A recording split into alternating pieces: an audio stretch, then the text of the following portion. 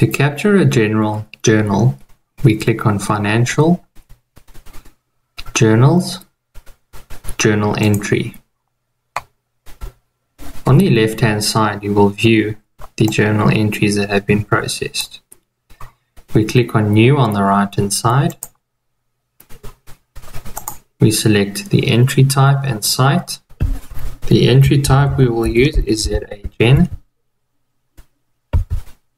The journal type is ZAGen, category actual, status temporary.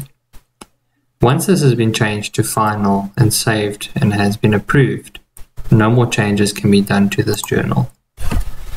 We give it a description, the date of the journal,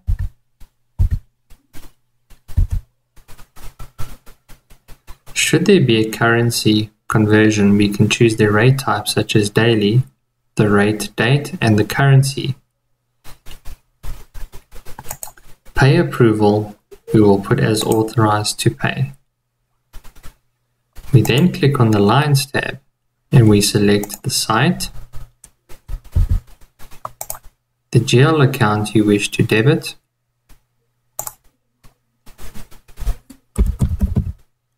we can then tab and enter a description. We then tab through further, zero tax.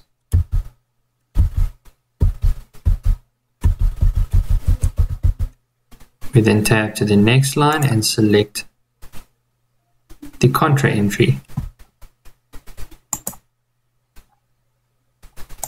Here we then enter the credit entry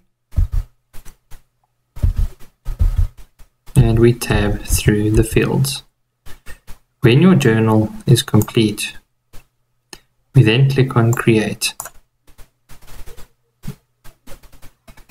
Note, should you have workflow activated, a workflow notification will be sent to the relevant approver to approve this item.